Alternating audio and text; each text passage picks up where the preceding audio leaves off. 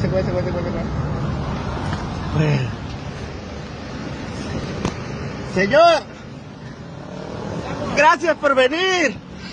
Este, yo soy el chofer de la pipa de Tijuana que se quedó sin frenos. Me quieren meter a la cárcel. Mi video están ahí. La fiscalía, la gasera Z, me metió a la cárcel. Ayúdeme, viene mucho en el Facebook y en, y en este. Me quedé sin frenos y estrellé la pipa contra el puente y la fiscalía me tiene agarrado. Ah, ayúdeme. Ya le, le he mandado cartas a usted y a todos. Me quiere dar 20 años de cárcel, señor, por haber salvado vidas. Ayúdeme, por favor. Por favor, ayúdeme, señor. Mi nombre es Rodolfo Martínez. En la casera Z tiene todo comprado aquí en Baja California, la fiscalía y todo. Por favor, ayúdeme. Ya perdí los dos riñones, quedé inválido y ando trabajando aquí. Yo era trailero.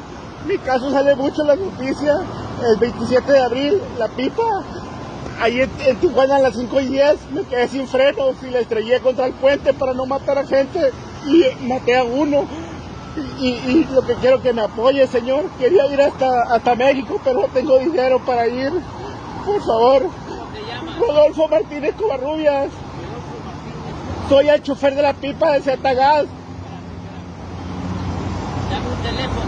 6691 2368 16. 23, 68, 16. Gracias, señor. Que Dios lo cuide, que Dios lo cuide.